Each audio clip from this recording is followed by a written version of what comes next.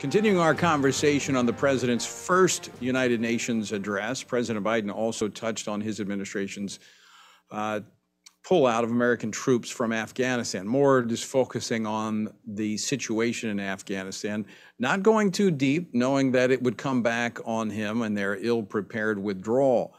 Um, joining me now to talk more about what was not in the president's speech and how we go forward with addressing the situation in Afghanistan is Congressman Mike Waltz. He's a veteran of the war in Afghanistan, as well as a member of the House Foreign Affairs Committee.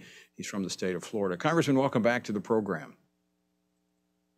Hey, good to be with you. Uh, re- really appreciate it.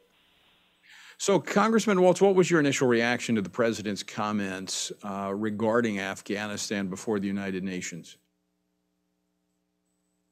Well, I thought the entire speech was was pretty much as expected. Um, you know, focus on climate, focus on COVID, platitudes, frankly, to multilateralism and the UN, uh, and, um, and and then this kind of oblique you know, basically uh, an, an, ongoing defense of this disaster uh, that he has caused uh, in Afghanistan. Um, this this arbitrary number of 20 years.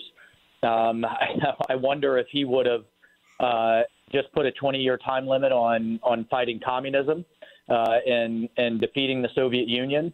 Uh, if he would have put that kind of timeline or any kind of timeline on defeating fascism, but for some reason, 20 years uh, in Biden's mind is is the limit for fighting Islamic extremism. The problem is they're not done fighting us. Uh, Taliban equals Al Qaeda, uh, and they now have the power of what I'm calling a terrorist superstate with an army, with an air force, uh, with a functional international airport to send people anywhere they want in the world. Uh, and I believe eventually a central bank, because I believe eventually, in order to get our people out, Biden is going to unfreeze billions in foreign currency reserves. So, yeah, we didn't, of course, hear any of that. Um, and we heard more happy talk. But in the meantime, this, is, this has been a disaster from a humanitarian rights standpoint, from a credibility standpoint with our allies around the world, and certainly from a counterterrorism standpoint. It's kind of like I was just talking with Senator Cotton about if you don't talk about it, it's like it doesn't exist. The fact that he didn't mention China as uh, really our global adversary. But I, I want to quote from him in his comments about Afghanistan. He says, The United States will do our part, but we will be more successful and more impactful if all of our nations are working toward the full mission to which we are called. And then he goes on to talk about we must all advocate for women, the rights of women and girls to use their full talents to contribute economically, politically, and socially and pursue the dreams free of violence and intimidation.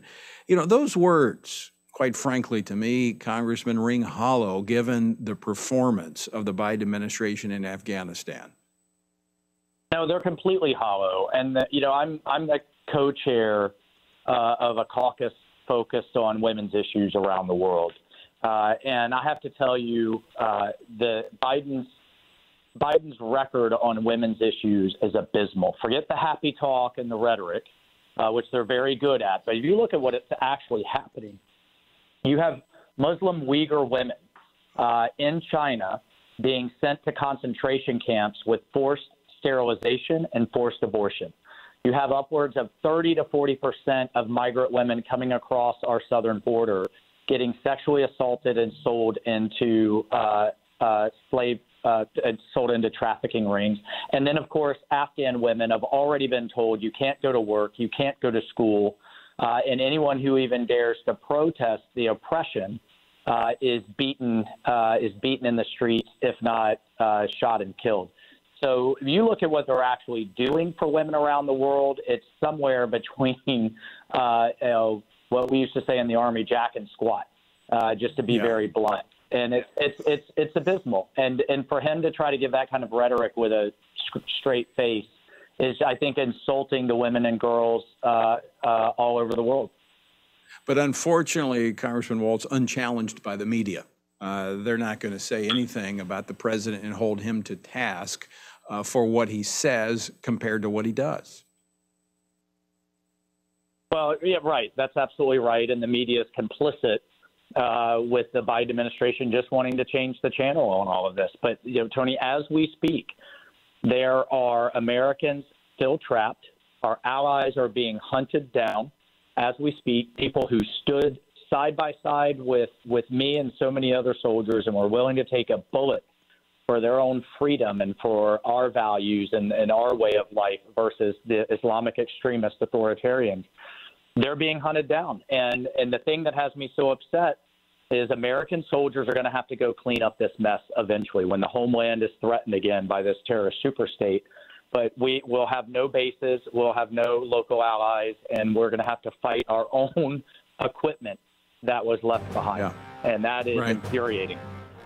Yeah, it's going to be harder, even harder this time. Congressman Mike Waltz, always great to uh, have you on the program. Thanks so much for taking time to talk with us today. Absolutely. Talk to you soon. God bless.